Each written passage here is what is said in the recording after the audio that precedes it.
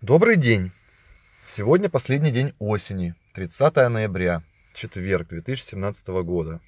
Четверг 2017 года, шикарно. Единственный четверг 2017 года. Так вот, на днях мне попалась статья неплохая, в принципе, про жизнь Нью-Джерси. И она относительно-то свежая. Вот. А, я хотел лишь... э, Хотел бегло, но чувствую, не знаю, бегло, наверное, не получится. Ее просмотреть, пролистать, чтобы было понятно, что существуют определенные девиации в, в затратах, э, в ценах, потому что все это зависит от, э, от персональных каких-то качеств, что человек хочет, какие, где он больше тратит, где меньше, где он считает, что нужно экономить, а что ему не важно, а что важно. Плюс от его там семейного положения, он сам, с женой, есть ли дети и так далее и тому подобное.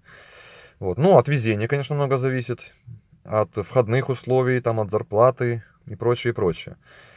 Так вот, а статью-то написала, собственно, жена айтишника, программиста, видимо. Они релацировались э, из России, из Москвы, а, в Нью-Джерси. Судя по статье, они переехали месяцев где-то 6-7 назад и поселились в Бриджвотере. Это в минутах 9-10 от нас. Мы туда постоянно ездим в Костко и в другие магазины. Там хороший большой торговый центр Promenade. Собственно, я недавно вот туда ездил как раз и в Костко сдавал робот-пылесос и в локальный эпицентр, так сказать, в Home Depot за хомутиками. Так вот, она здесь для начала, для начала начнем. Ну, это, собственно, факты из Википедии. И, кстати, тоже интересный момент, что вот Джерси, на самом деле, на четвертом месте среди самых маленьких штатов, но в то же время, в то же время, это самый густонаселенный штат. И это, это реально прикольно, когда в Фейсбуке и там и в комментариях там все, все мне пишут о том, что а где все люди, чуваки, и это еще самый густонаселенный штат. Вот такая вот фигня. Ну, она здесь в рублях там сравнивает и так далее и тому подобное. А, по визе тоже я делал как-то репортаж, чем отличается L-виза от H-визы. А, вот это единственное заявление. Сразу можно подать заявление на грин-карту в плюсах L-визы. А, я не знаю, возможно, как бы государственные реквайрменты, требования к самой визе, возможно, это и позволяют, но в данном случае у меня есть отдельные условия от работодателя, что релацировавшись сюда, я имею право на подачу грин-карты только спустя год работы здесь. Вот. Возможно, если таких требований от работодателя нет, то, возможно, можешь, можешь подаваться сразу. Вот. Про минусы я тоже рассказывал и так далее и тому подобное. А, также а, супруге, супругу, собственно, тому хвостику, кто а, релацируется вместе с человеком, получившим L1 визу, ему дается L2, в частности, от моей супруги и ребенку. Так вот, э, супруг имеет, рабо- э, имеет, имеет право работать здесь. Об этом я говорил. Но для этого нужно вот получить отдельный employment авторизацию, вот документ. То есть, насколько я узнавал буквально вчера, делается это все онлайн, не надо никуда ехать, ни в какие госинстанции, ты заполняешь сам форму, чтобы получить эту авторизацию на работу, а, разрешение на работу. А, и это стоит денег. Где-то, возможно, около там трех сотен долларов это стоит. И документ не на всю жизнь, он временный. А, в частности, так как L-виза дается на три года, то документ чаще всего лимитирован теми же самыми тремя годами. Могут выдать на два года. Потом нужно будет его снова продлевать, получать, платить снова те же самые три сотни. Вот. Все зависит от того, когда выдана была L2 виза и когда подаетесь на разрешение на работу. Вот. Тут она показывает пачку документов на одного человека для получения L-визы. Но на самом деле такая пачка только для основного а, релацируемого го-го-го-го. А, то есть, да, на меня вот такая же пачка была, там петиции и все прочие документы. На жену и ребенка таких пачек нет. А, Тут она говорит про получение Social Security Number. Вот так он выглядит. Мы уже получили я и жена. Тоже она упоминает о том, что как бы 40% американцев не имеют паспорта. Вот. Потому что, собственно, они особо никуда и не выезжают за рубеж. Поэтому все здесь обходятся в основном водительскими правами или же э, и или social security number. Вот. По правам она говорит, по водительским правам. То есть она здесь уже пишет действительно свежую информацию о том, что на зарубежных правах можно ездить до одного года. Буквально в предыдущей версии вот этого Driver's Manual, что я брал э, в MVC, там этой строчки не было. Это вот в последней редакции появилось как раз уточнение, строчка, что можно не более года ездить, ну, до года. И это хорошо. То есть, если я вот, допустим, в моем случае, который еще не получил местных водительских прав, если вдруг остановят, то у меня эта книжечка всегда с собой в бардачке. Я буду тыкать пальчиком туда, это буквально вторая страница, там какой-то там на абзац. Вот. Тут она говорила по поводу тоже сдачи на права, а, о том, что действительно происходит все рандомно и персонально. То есть э, вас могут отправить на вождение, могут не отправить. А, среди моих коллег так же самое. Есть случаи, у которых было кучу лет опыта вождения в своей стране, в частности в Украине, и его все равно отправили на сдачу вождения. Так же, как и здесь же, известен случай о том, что человек получил водительские права в Украине буквально там за пару недель до вылета, до релокейта в Штаты, и его не отправили на вождение, он сдавал только теорию. То есть все зависит от того, даже не знаю от чего, просто от ситуации и насколько ты там будешь дерзкий оспаривать. В частности, вот они оспаривали это все, там полгода или сколько ждали. Ну, можно это все на месте. А, опять же, позвав менеджера, закатывая там истерики или еще что-нибудь. Вот. Дальше она говорит про систему мер. Ну, это классическая тема. Не знаю, в принципе, довольно-таки полезно иметь сразу расшифровку, но я ее никогда в голове не запомню, серьезно. Ну, я так приблизительно там знаю, что там одна миля, это нам чуть больше полторы километров там. Все остальное фиг его знает. Ну, и один галлон около 4 литров. Это то, что я как бы осело в голове. Как там считать фаренгейты, эти футы, дюймы, я не парюсь, я уже просто привык. А, банки получения кредитки, кар, кредитной карты. Собственно, смотрю, они так же самое, как я шел по своему пути, они открывали в Bank of America кредитку. А, аналогично они взяли, выбрали кредитку с кэшбэком. Я потом, в принципе, расскажу, хочу подвести итоги тоже. Это интересный вопрос, как здесь работают все эти кредитные карты. Вот. Мобильное приложение вот так вот выглядит. Да, подтверждаю, нотификации, все это есть, все здорово. Про инвестиции. А, про инвестиции, про инвестиции. Я не знаю, про инвестиции. Мне, кстати, эта тема, этот абзац заинтересовал. Я его посмотрю подробнее.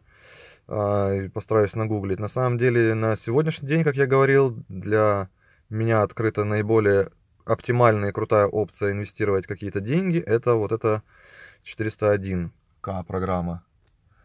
Называют ее как, как только могут. 401k, 401k, 41k. Дробят эти три цифры 401, как, как хотят. Вот.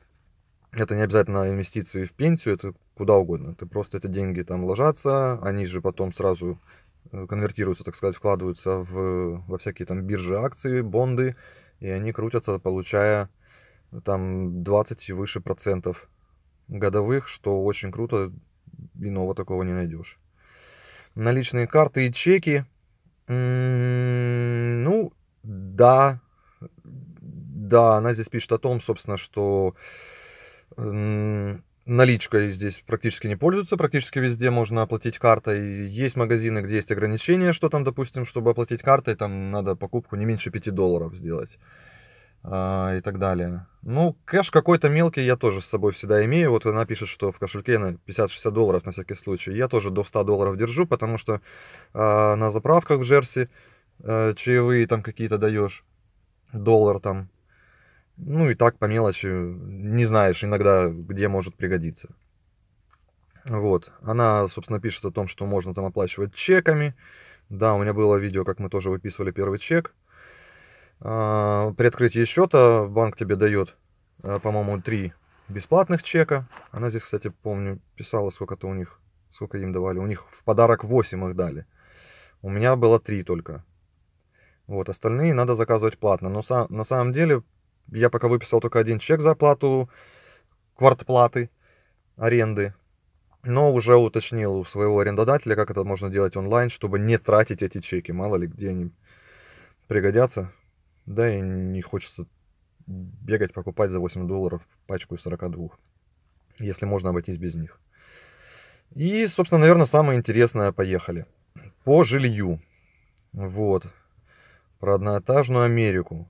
Собственно, да, подтверждаю, что где-то средняя стоимость вот э, one bedroom. По-нашему это двушка, потому что здесь считают только спальные комнаты. То есть one bedroom это спальная комната и зал, естественно. Вот. То есть средняя цена в полторы тысячи долларов в месяц. Минимально они видели за 950, да, я тоже это видел на Craigslist.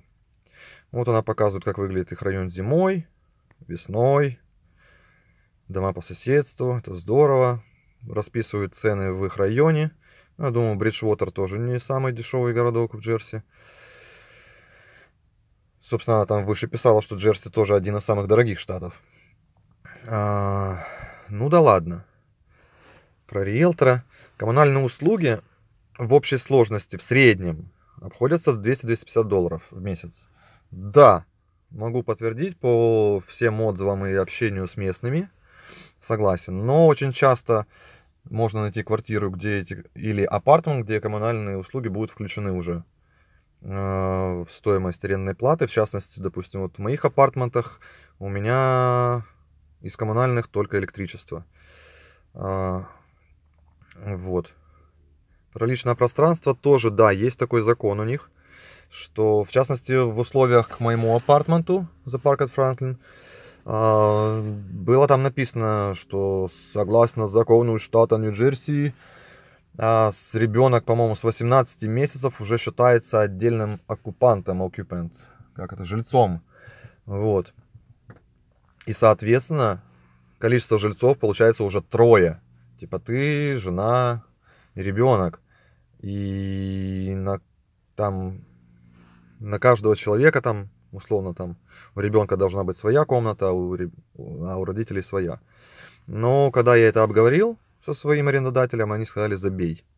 Я говорю, у меня сейчас ребенку там условно там 12 месяцев. Не будет ли так, что там через полгода вы мне скажете, что переезжай с one bedroom в two bedroom?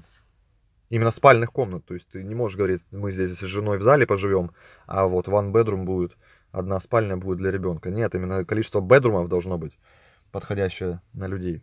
Ну, собственно, мне сказали забей, и я забил. То есть все нормально. Вот мой коллега, который в моем апартаменте тоже поселился не так давно, у него ребенку три года, ему тоже вообще, вообще про это ничего не сказали. Вот, мебель. Да, жилье сдается без мебели. Все приходится покупать. Ну, либо брать у знакомых, потому что, как вчера я взял стол со стульями бесплатно, тут все друг другу что-то пытаются отдавать, чтобы не тащить это на... Просто не выставлять на мусорку. Тут люди просто могут ходить э, мимо мусорки, проходя, что-то себе захватить, телевизор, микроволновку или очередное кресло или диван, потому что просто выставляют, ну, много что, много что выставляют, вот так закончу эту фразу. Залог, э, да, за аренду обычно полтора-два месяца, но опять же можно, есть нюансы. Можно найти условия, допустим, как у меня, они этот security депозит, вот этот вот залог, ограничили фиксированной суммой в 500 долларов. Несмотря на то, что арендная плата полторы тысячи, 1575 у меня. И это было бы сильно, двухмесячную арендную плату отдавать на security депозит, на залог. Вот, про кредитную историю она пишет о том, что обычно спрашивают, но так как ты новый приезжаешь, у тебя ее нет. во всех, практически во всех апартментах, да не практически, а во всех апартментах, с кем я не общался, когда искал жилье, а, они всегда упоминали за кредитную историю, я всегда упоминал о том, что я здесь новый человек в этой стране, и у меня ее нет. И все как один отвечали практически, ну, можно так, цитатой, что отсутствие кредитной истории лучше, чем плохая кредитная история. Поэтому не парься. Так что тоже реально можно не париться по этому минуту. Где искать жилье? Вот она, собственно, один в один. Там же, где я смотрел, Craigslist, Trulia, я вставил себе приложение, смотрел на сайте. Тоже мне приходили постоянно нотификации по выбранным локациям. Zillow смотрел, Rent.com смотрел, Apartments.com и Yelp. Э, ну, Apartments.com я еще смотрел, Yelp не юзал. Да, на всех этих сайтах можно искать. И нужно, наверное, искать жилье. Собственно, вот у него фотография о том, что они все-таки нашли дом на Craigslist. Вот так вот выглядело, выглядело объявление 1350 one bedroom in a luxury house. Oh my dog. Так вот, то есть они пошли путем выбора не апартмента, а найти объявление от частника. То есть на Craigslist чаще всего это частники выдают допустим, у кого-то есть большой дом, ему эти количество комнат э, нафиг не надо, они просто простаивают. И если есть отдельный вход, то, то хозяин просто в шоколаде. Он эту часть дома сдает, в остальной части дома живет, у всех отдельный вход. Ты всегда можешь с ним решить какие-то вопросы, если что-то случается. Может, они даже чем-то подскажут, помогут. Это неплохой на самом деле вариант. То есть вот она пишет, что они платят за one bedroom, за вот эту часть дома – у собственника 1300-200, 1320. Это им еще скидку как бы сделал. За отсутствие стиральной машины и сушки. Ну, то есть, то есть так. Ну, понятно, прачечная 20-25 долларов в месяц, где так. На самом деле, если селиться в апартментах, то можно найти так же самое one bedroom апартмент без стирки и сушки где-то за ту же самую цену. За 1350. Я такие варианты видел здесь в Джерси. Я смотрел. Но я искал-то именно со стиркой и сушкой.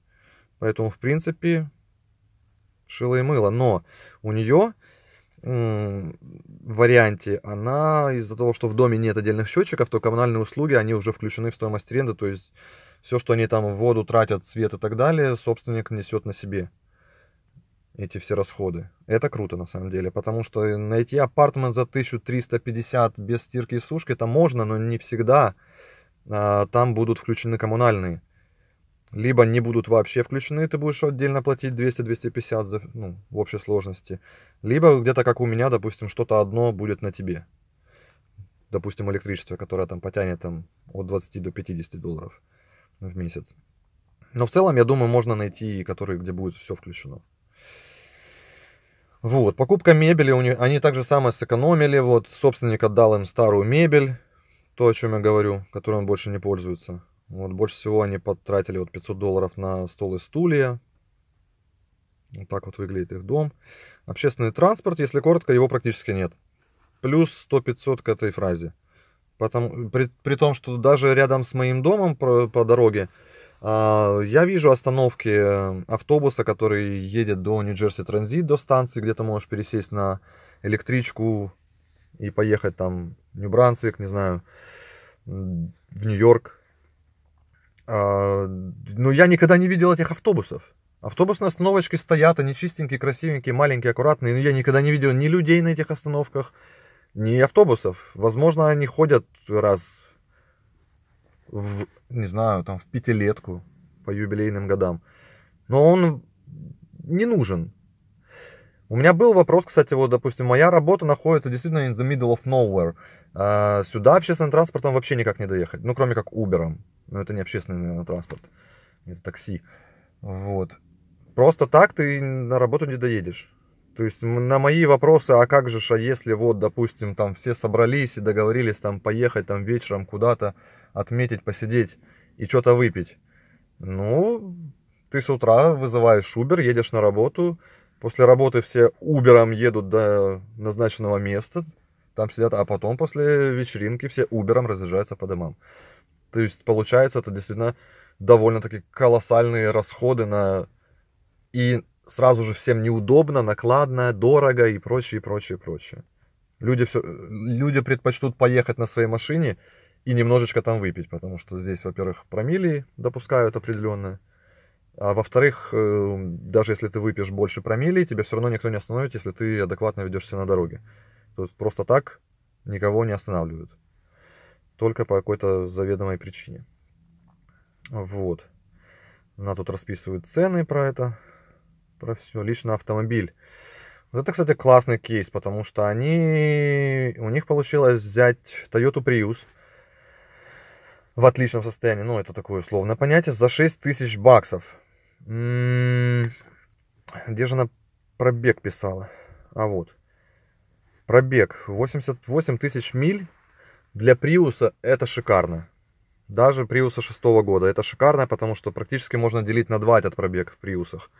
Там гибридный двигатель, половина всех пробок, остановок на светофорах, стартах на светофорах. Все это половину берет на себя электродвигатель. Все остальное, когда ты уже разогнан и едешь без особых там каких-то там подгазовочек, берет уже на себя нормальный движок. Но на самом деле это очень неплохой вариант а, за 6 тысяч. Сейчас мы тоже с женой рассматриваем поиски Приуса. И мне попадались варианты от 4,5 до 6. Тоже с милями где-то около 100 тысяч. Тоже 5-7 года Приусы. Поэтому вариант неплохой. Ну, в то же время я взял за 3,5 Volvo. Хотя она кушает гораздо больше. У нее вот 80 долларов в Приусе уходит. У меня 220 в месяц где-то уходит на бензин.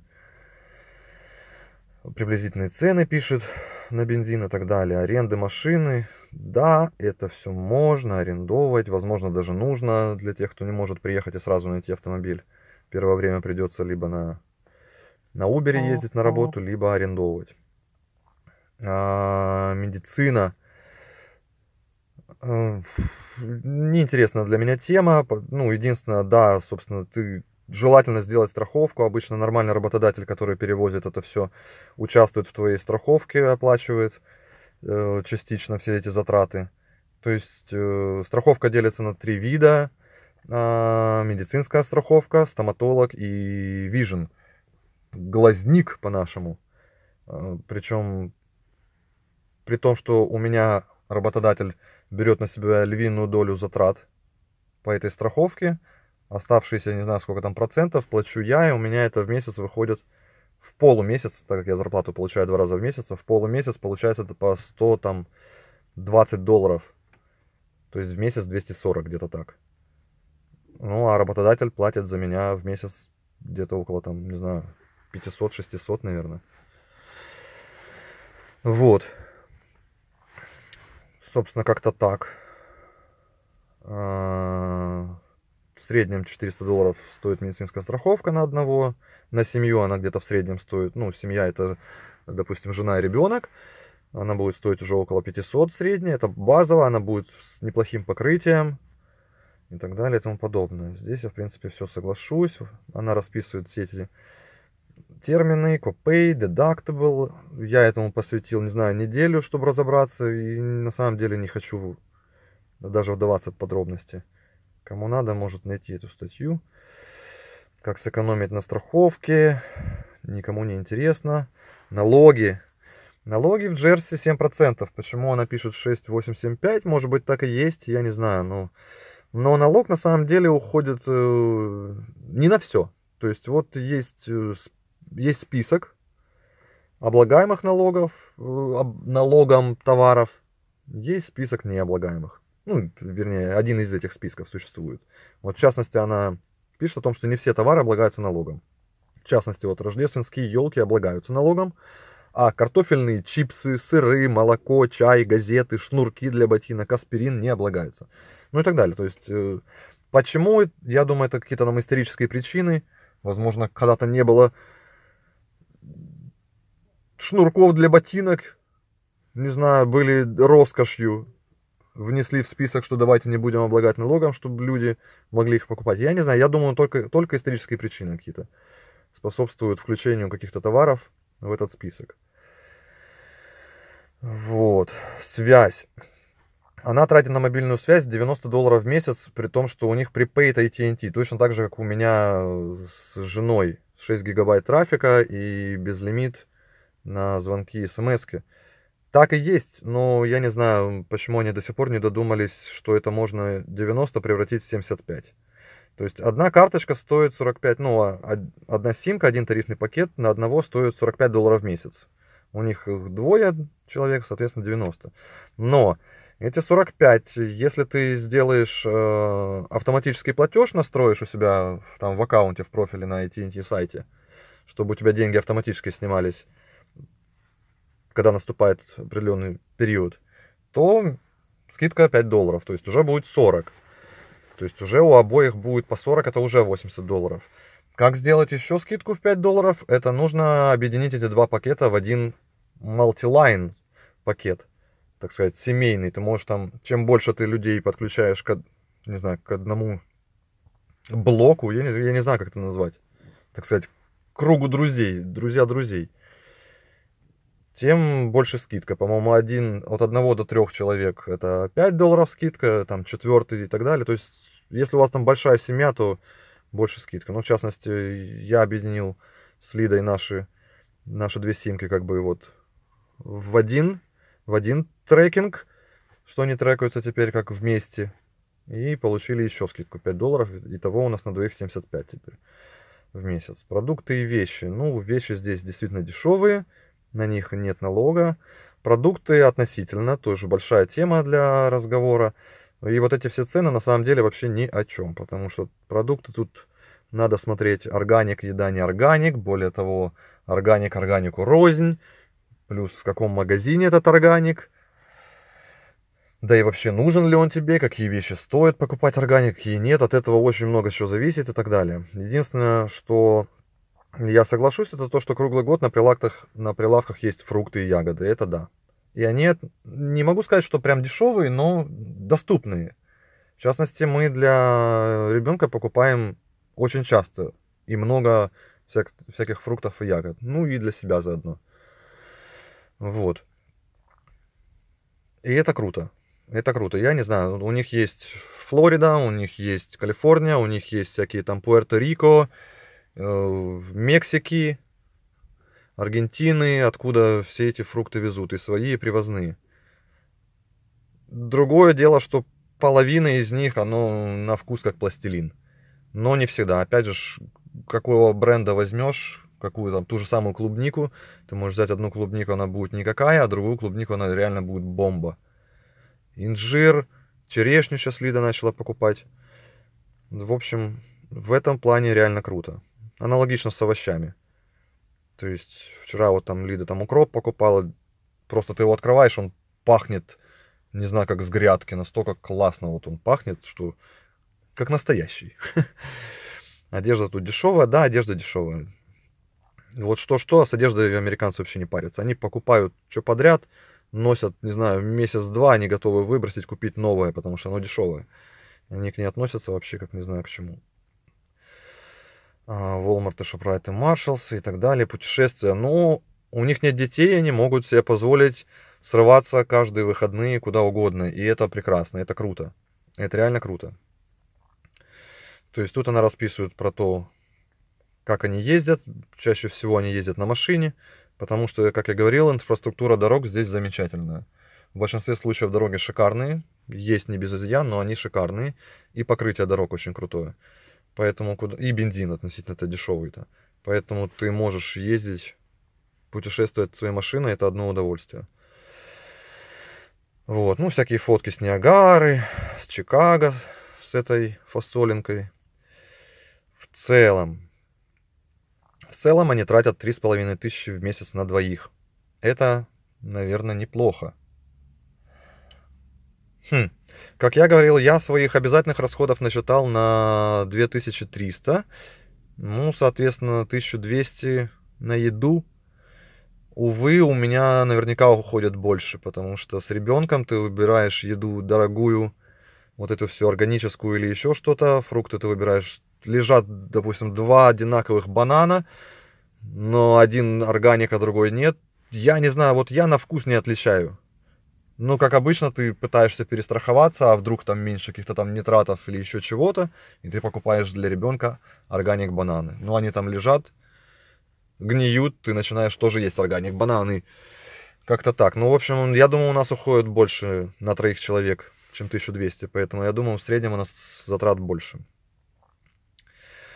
Вот. Ну, дальше в процентном соотношении, что эти затраты себя включают. Потом, как она говорит, как круто жить. Снова эта фраза in the middle of nowhere, но это не про Бриджвотер, потому что в Бриджвотере офигенный торговый центр. Ну и тоже локация очень неплохая.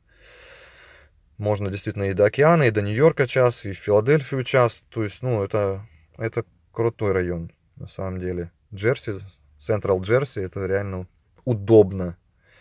Одноэтажная Америка, бла-бла-бла. Ну, какие-то фотки на Манхэттен. И Сэнди Хук, это один из ближайших пляжей здесь, в Нью-Джерси, по крайней мере, в центральном. Ездили наши ребята, когда мы были здесь в командировках. Ну, собственно, вот такая вот статья. Я лишь хотел проревьюить ее для того, чтобы понять, что есть девиации в ценах в зависимости от разных ситуаций. Есть моменты. А, я не знаю, вряд ли здесь видно ссылку.